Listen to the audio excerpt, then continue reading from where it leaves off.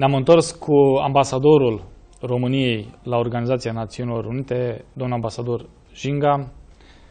Discutam cu domnia sa un aspect extrem de profund și interesant, mă rog, important, de fapt și grav, nu știu cât este de interesant, despre modul în care va evolua lumea, lucru care nu prea preocupă pe Pokémonii de astăzi, eu așa le spun.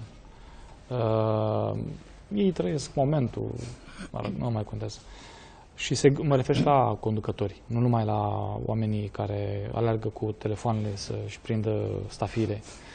Domnule ambasador, mai devreme discutam și prezentat un scenariu pe care, la nivelul Organizației Naționale Unite, e numai să-l creioneze sau să-l vedeți, în care lupta pentru supraviețuire va genera, va duce la crize greu gestionabile. Puteți să elaborați pe această, această chestiune, pentru că este înfricoșătoare, dar trebuie să o știm. Vă spune doar că în ultimii 10 ani numărul de conflicte pe glob a crescut de trei ori. Deci s-a triplat. Că asistăm în multe părți ale lumii la o bătălie pentru acces în unele părți la resurse, vorbim de energie, în alte părți pur și simplu la apă, apa este vitală pentru supraviețuire, și la hrană.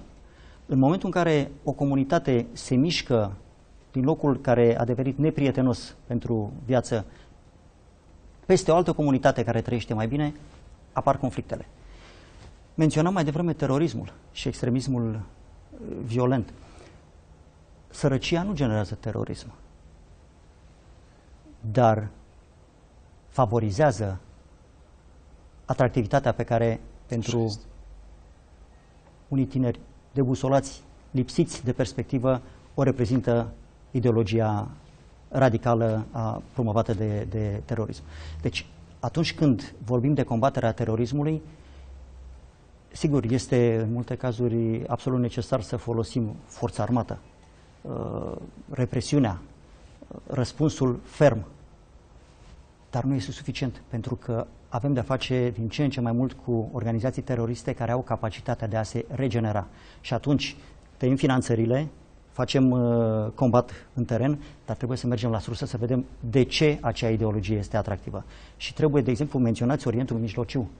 Uh, cred că educația este un element esențial, pentru că dacă din cauza conflictelor, nu a conflictului, ci a conflictelor din diferite părți ale acestei zone geografice, oh, da, numită Orientul Mijlociu, da. Uh, copiii nu merg la școală, riscăm să avem o generație pierdută, o generație lipsită de educație. Păi, atunci când ai tineri fără educație și fără perspectivă, ei sunt victimă sigură pentru ideologii extremiste. Deci educația, educația, educația este sau trebuie să fie la temelia oricărui efort de eradicare a terorismului. Combaterea sărăciei este un alt element și, în fine, promovarea drepturilor omului, statul de drept. Nouă ni se par aproape banalități, pentru că trăim cu ele zi de zi, drepturile omului. E în firea lucrurilor. Nu același lucru se întâmplă peste tot în Africa, de exemplu, sau în Asia. Drepturile omului ar trebui să fie o religie a, a secolului 21. Însă nu mai sunt vremurile conquistadorilor în care o religie se impune cu sabia. Trebuie să argumente. Domnule ambasador, uh, pentru că am de-a face cu un om uh, cu o viziune și o capacitate uh, intelectuală, dar și de sinteză excepțională, să vă pun niște întrebări, poate că par ciudate pentru telespectatori, dar sunt convins că noastră veți înțelege de ce vi le adresez. În acest context pe care l-ați descris noastră, cine vor fi uh, stăpânii și cine vor fi cei serviți? Pentru că în Africa, eu, eu vă pun întrebarea asta pentru că observ niște lucruri mișcându-se pe glob. China, de exemplu, a investit enorm de mult în Africa de Sud și în alte țări din Africa. Uh, fiecare mare putere se concentrează pe o anumită zonă. Din această perspectivă, putem vorbi, este o presupunere, eu vă pun această întrebare uh, și aveți mai multe date. Putem vorbi despre mari puteri care își creează vasali încet, încet, fie, că este, fie, fie economic, fie prin cucerire armată, cum încearcă Rusia. Pentru că mie mi-e teamă de viitorul despre care vorbeați dumneavoastră, care pleacă de la resursa minimă, cum este în cazul Africii, da? de la faptul că nu mai au ce mânca oamenii aceia, 70% care, să spuneți că, adică să avem o țară, să avem un continent care uh, se hră, mă rog, trăiește efectiv 70% din agricultură. 80%. 80%, iertați-mă. Este, este fantastic, este incredibil de grav. Uh, dacă nu previi aceste lucruri, oamenii aceia vor migra. Vor migra către ce? Către țările care au, către noi, către toți. Noi, nouă ne se pare că nu avem. Dar dincolo de aceste cauze, nu avem de-a face și cu un cinism, cu această uh, mișcare de reașezare a unor zone de influență, repet, cu cinism și cu, fără să pese foarte mult, fără să le pese acestor conducători de valorile de care vorbeați dumneavoastră, prin uh, uh, modul în care tratează și China, și Statele Unite, și Rusia, și Uniunea Europeană, și alte state, zone defavorizate, de la natură poate, cu lipsă de resurse, dar poate care și le aduc în această stare, pentru că China n-a investit în Africa de Sud sau în alte părți ale Africii degeaba. A investit pentru că de acolo și aduce minereu, de acolo și aduce resursele necesare unei industrii uriașe. E o întrebare lungă, dar știu, știu că poate fi complicat pentru noastră ca ambasador să răspundeți. Am senzația unei, unei, unei, unei diplomații medievale care se întoarce în materie de, mă rog, unei politici externe, nu, nu, nu unei diplomații, care se întoarce parcă din evul mediu înapoi. Eu v-aș răspunde ușor diferit. Sunt probleme cu care se confruntă umanitatea în acest moment, ce am enumerat? Terorism, schimbări climatice, pandemii, migrație, ca să luăm doar patru, dar putem să mai găsim, care nu pot fi rezolvate individual de nicio țară, indiferent cât de mare și de puternică este. Sunt probleme care transcend frontierele și care au repercursiuni la nivel global. Probleme globale necesită soluții globale. Nu poți să ai soluții globale dacă te bazezi pe confruntare și pe o abordare uh, vasal uh, senior. Uh, una din marile probleme uh, ale Organizației Națiunilor Unite, care este conștientizată și pentru care se fac eforturi considerabile să fie rezolvată, este cea a încrederii. Există o anumită neîncredere între nord și sud, nordul bogat, Corect. sudul sărac, da. care nu e bazată pe ideologie, ci pur și simplu pe dezvoltare și pe uh, o anumită istorie a evoluției. V-aș spune că la ONU sunt peste 100 de țări mici, țări insulare, multe dintre ele. Altele sunt uh, țări fără ieșire la mare. Uh, țări care însă, așa cum menționam la început, au un vot acolo. Și când se ia o decizie care ține de altceva decât de problematica de securitate, securitatea fiind apanajul, deci menținerea păcii și securității, Consiliul de, Consiliul de Securitate. Sigur. Dar tot ce excede acest domeniu, asta înseamnă tot ceea ce se întâmplă pe glob în orice alte domenii. Și slavă Domnului, vorbim de la drepturile omului la uh, dezvoltare socială, uh, dezvoltare uh, economică, uh, rețele de transport, telecomunicații, protecția mediului și așa mai departe. Deci totul trece printr-o decizie, dacă e vorba de o acțiune a Organizației Națiunilor Unite, trece printr-o decizie a adunării generale. Și acolo este un stat, un vot. Dacă vrei să-ți promovezi o rezoluție, dacă vrei să-ți promovezi o candidatură de țară sau un om într-o structură a ONU, ai nevoie de voturile uh, acestor uh, țări. Dacă vrei să adopți o strategie globală pentru, nu știu, uh, o să fie în octombrie, de exemplu, uh, al treilea summit Habitat.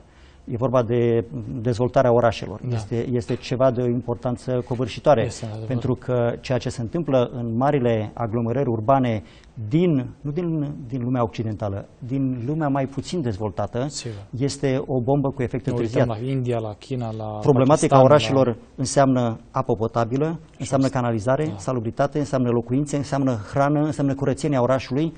Este un, un furnicar care trebuie gestionat când ai orașe cu milioane de locuitori. Și este uh, o, o problematică ce, ce tinde să depășească capacitățile unor țări.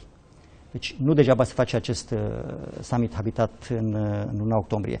Ei bine, pentru toate aceste, acest areal de, de teme, ai nevoie de susținerea celorlalte țări. Nu poți să impui. Poți să fii prieten foarte bun cu 10 mari țări, mari actori, mari puteri. Sunt 10 voturi. Deci să mai ai 10 prieteni de la 10 insule. Ai nevoie de mai mult. De exemplu, votul uh, pentru, pentru alegerea în Consiliul de Securitate sau pentru uh, alte candidaturi se ia cu două treimi, adică ai nevoie de cel puțin 130 de voturi. Credeți-mă că e greu să aduci 130 de, de voturi, 130 de țări să voteze pentru tine, dacă nu le-ai convins că interesele lor sunt înțelese și că ești dispus să le aperi și interesele lor. Doamne ambasador, să vă, pu- pentru că uh, simt această rezonare, o să fiu direct din nou. Cât de, mult, cât, cât de mult mai țin cont, dacă mai țin cont, ce bază mai pun marile puteri, pe, uh, marile puteri ale lumii pe hotărârile Organizației uh, Națiunilor Unite? Cât de mult îi mai pasă Chinei, Statele Unite, Rusiei, de ce hotărâți dumneavoastră la ce, ce hotărâm noi, că până la urmă reprezentați România, de ce hotărăște Organizația Națiunilor Unite? Pentru că eu observ un, uh, un uh, iertați-mă, uh, mă întorc la termenul meu, un, un, un feudalism întors în politica externă. Avem lideri uh, fără națiuni, eu așa îi numesc, îmi pare rău, și pe domnul Putin și pe alții. Noastră aveți rezerva diplomatică și este rămas să o păstrați. Dar îi văd lideri fără națiuni. Adică uh, nu, mai, nu mai contează dacă ONU a spus ceva, dacă NATO a hotărât altceva. Contează ce vor ei. Dacă domnul Erdogan, mă rog, sau alții doresc, mâine se întâmplă. Adică cât de mult mai contează o rezoluție ONU sau o decizie sau o, o hotărâre sau uh, uh, luată de ONU în acest context? Cât de mult mai țin cont aceste mari puteri în goana după vasali, cum le spun eu, în goana după resurse, în goana după Dumnezeu știe ce, cât de mult mai țin cont de ce se întâmplă acolo și de echilibru pe care ONU încearcă să-l păstreze între cei sărași și cei bogați, între cei mici și cei mari. Că cei mari, ce, ce- ce nu înțeleg și spuneți dumneavoastră, este că dacă n-au grijă de cei mici și săraci, cei mici și săraci vor, veni- vor veni peste ei. În primul rând, excluzând persoanele de față, uh, v-aș spune Bineînțeles. că toți ambasadorii la ONU fac parte din elita diplomatică a țărilor lor. Pentru că este uh, locul unde uh, confruntarea este ultimul resort. În cazul, în Negocierea, cazul dumneavoastră eu pot să spun că persoana de față nu se exclude. uh, vorbeați de poziția marilor puteri. V-aș spune doar că, Dacă mai țin cont de ONU. sigur, și ONU este foarte important, indiferent cât de mult se vede declarativ sau nu acest lucru. De exemplu, ambasadorul Statelor Unite la ONU este membru al Cabinetului Statelor Unite, deci are rang de ministru, face parte din cabinetul, din Guvernul Statelor Unite. Deci este o persoană importantă într-un loc foarte important. La noi nu e, dar poate ar fi cazul să începem și noi să luăm exemplu acesta. Uh, Vorbeam de importanța dată de marile Da, uh, puteri.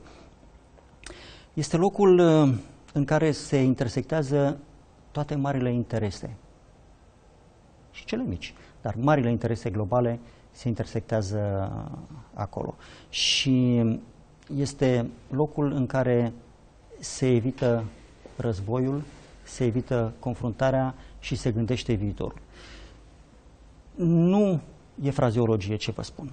Sentimentul meu, poate mă înșel, sentimentul meu după un an de experiență la New York este că asistăm la o reașezare a unor plăci tectonice la nivel mondial. zone de interes, uh, domenii cu potențial destabilizator și inclusiv cei mai importanți actori fie nu pot, fie consideră că este mai înțelept să trateze acele probleme pentru soluții comune la nivelul ONU. Sunt situații însă când ONU poate să eșueze. Se întâmplă pentru că statele membre n-au fost suficient de vocale în a susține demersul ONU, n-au existat suficiente argumente, suficiente interese, însă, repet, lumea în care trăim este o lume a interconectivității.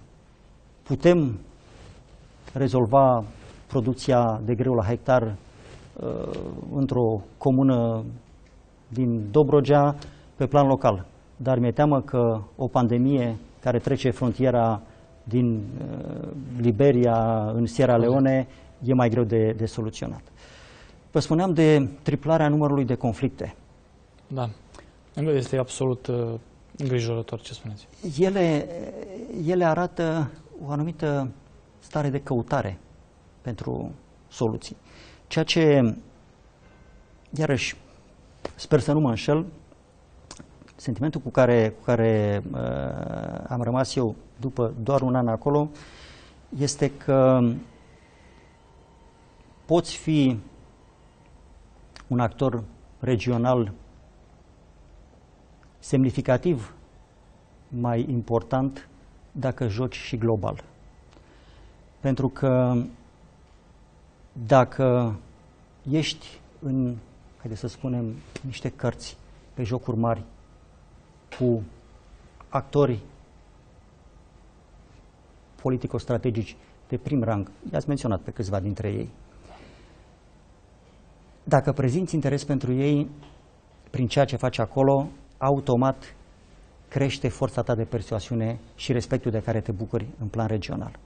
Pe de altă parte, ONU este și locul în care o diplomație puternică și reprezentată de oameni dăruiți pentru meserie, poate să facă vizibilă o țară, o țară mică, o insulă, vorbeam de Kiribati, de Fiji, uh, mult peste potențialul ei economic, uman, militar. Dar dacă sunt pragmatic, domnule ambasador, și vă întreb, noi, România, pentru că eu am, am reținut foarte bine ideea noastră. Dacă România, pentru că mă interesează țara mea, își joacă cartea bine și are oameni dăruiți la ONU, atunci și în raport cu Ucraina, Moldova, Serbia, Georgia, ce mai vrem noi, regional, Rusia, putem să ne jucăm o carte mai importantă sau mai puțin importantă. Sunt dosare prioritare pe agenda misiunii României la ONU, cele menționate de da? dumneavoastră. Asta vreau să vă întreb. Care sunt prioritățile, pentru că vreau să ajung și aici, care sunt prioritățile ambasadorului României, mă rog, ale României prin ambasadorul său la Organizația Națiunilor Unite? Adică ce consideră România că este prioritar din ce se poate spune, nu vă cer uh, clasificate, dar din, care sunt o, o, obiectivele majore pe care noi le avem în raport cu ONU și după aceea în raport cu, nu știu, uh, uh, regiunea din care, din care venim? Obiectivele României la ONU, pe care misiunea României la ONU este chemată să le pună în practică în limita competențelor sale, sunt uh, subsumate statutului nostru de stat membru al Uniunii Europene și al NATO. Asta în primul rând. Dincolo, și la, la New York este aproape un light motiv când uh, au loc intervenții în Consiliul de Securitate. Noi nu suntem membri în Consiliul de Securitate acum, dar sunt, cel puțin o dată pe lună, sunt dezbateri deschise și aproape de fiecare dată eu intervin pe diverse teme care țin de securitatea globală. La fel sunt uh, dezbateri frecvente în adunarea generală, în comisii de lucru și uh, aproape fără excepție dacă există o poziție comună a Uniunii Europene, intervenția mea începe cu România, se alătură poziției exprimate de Uniunea Europeană și după aceea spun vreau să fac și câteva considerații în capacitatea națională, poziția specifică a României. Deci, ceea ce facem noi acolo se integrează în politica externă a României din perspectiva Uniunii Europene și a statutului nostru de membru al NATO. În același timp există și interese specifice. Uh, vorbeam de Uniunea Europeană și mai devreme de donatori. Uniunea Europeană este mm, cel mai mare donator de asistență pentru dezvoltare și asistență umanitară din lume. Deci este, da. este un actor... Numai Marea Britanie a dat un miliard de lire pentru refugiați. Suedia, în campania pentru Consiliul de Securitate, a dat 200 de milioane de dolari, o singură țară. Pentru și o țară micuță, totuși. O țară cu o tradiție de diplomație foarte bună. Da. Pornind de la Raul Pallenberg, Dag Hammarskjöld, care a fost secretar general exact. al ONU și până în momentul actual, secretarul general adjunct al ONU este un suedez, un diplomat de, de foarte mare valoare. Deci, revenind, prioritățile noastre se subscriu statutului pe care îl are România. Avem însă uh, nuanțele noastre care fac ca anumite dosare să reprezinte o sensibilitate mai mare pentru noi. Uh, de exemplu, ați menționat dumneavoastră Ucraina, Georgia, Republica Moldova, Orientul Mijlociu, Africa de Nord. Uh, sunt uh, zone fierbinți, sunt zone în care avem interese, zone în care avem expertiză și zone în care avem un cuvânt de spus. Ați menționat Republica Moldova și nu o să vă pun, în, nu o să vă rog să comentați ca ambasador declarația altui ambasador. Asta o facem noi. Sunt în zona societății civile și așa mai departe. Păi, pe mine nu m-a îngrijorat, m-au îngrijorat uh, comentariile ambasadorului Statului Unite la Chișinău, dar nu asta contează, nu asta vreau să vă întreb. Situația Republicii Moldova astăzi este una extrem de periculoasă și de, de dificilă, din punctul meu de vedere, ca un om care cunoaște poate mai mult, dar nu atât de mult cât un diplomat care are acces la foarte multe informații. Cum se vede de la ONU situația Republicii Moldova astăzi? Pentru că este o țară condusă de un guvern a servit unui om de afaceri, dar politic uh, nu știm încă, pentru că vom vedea la alegeri, dar tinde să cadă în brațele Rusiei. Adică ce facem noi prin intermediul ONU, cum se, cum, cum se vede de la nivelul celor 193 de țări, dacă pasă cuiva, în afară de România, de această țară vecină, soră a României. În primul rând, uh, nu am să fac niciun fel de comentariu nu, la ceea ce nu, a spus nu. Sunt dumneavoastră. Republica Moldova tocmai a sărbătorit zilele trecute 25 de ani de independență. Da. Republica Moldova este stat membru al ONU. Republica Moldova are ambasador la ONU. Sigur. Ambasadorul Republicii Moldova este, este bun prieten. Uh, dacă autoritățile de la Chișinău au ceva de comunicat la ONU, o fac prin misiunea lor la ONU. Este un stat suveran și independent. Dar uneori poate e prea puțin și sunt prea mici. Poate problematica... Eu, eu vă întreb altceva. Vă vorbesc despre misiunea ONU de prevenire a conflictelor. Avem situația din Transnistria. Este preocupată chiar Ucraina. Este preocupată ONU? Preocupată organizația? Și dacă da, cum? Organizația este preocupată de tot ceea ce înseamnă prevenirea conflictelor, soluționarea conflictelor înghețate. Dar, repet ce vă spuneam la început, organizația nu poate să facă mai mult decât îi permit să facă statele membre. Bun, și în cazul acesta, practic, uh, avem uh, în situația Moldovei și a Transnistriei, ca să luăm acest exemplu, uh, formatul 5 plus 2, decis de negocia, ca, ca format de negociere, dar în același timp ar trebui ca Moldova să, fa, să ridice problema în cadrul Organizației Națiunilor Unite, iar ceilalți să o susțină indiferent de decizia, pe, mă rog, de propunerea pe care o fac. Dar senzația mea este că nu a fost susținută și că a avut această inițiativă de a nu, de a, de a reintegra Transnistria în, în corpul Republicii Moldova. eu nu mă pot pronunța pe ce ar trebui să facă Republica Moldova. Republica Moldova este stat independent și suveran, are autorități și, uh, din câte știu eu, ori de câte ori a cerut sprijinul României, acest sprijin a venit. Bun. Ne oprim pentru încă o pauză de, de publicitate, domnule ambasador, și ne întoarcem pentru că sunt lucruri extrem de interesante despre viitorul tuturor, nu numai al românilor, al romenirii. Uh, apropo de ceea ce spuneați noastră și cu încălzirea globală sau uh, creșterea nivelului oceanelor și cu uh, uh triplarea numărului de conflicte și reducerea uh, resurselor și multe alte lucruri la care iarăși nu știu cum să le spun, că Pokémon nu vreau să mai fac, la care foarte mulți dintre liderii lumii nu se gândesc. Se gândesc la viitorul de mâine, să vadă dacă să aleși, dacă nu să aleși, să mintă, să spună. Poate să ori gândi și la uh, faptul că s-ar putea să vină cu furca peste ei, uh, cei săraci. Pauză de publicitate și ne întoarcem cu doamna Văstor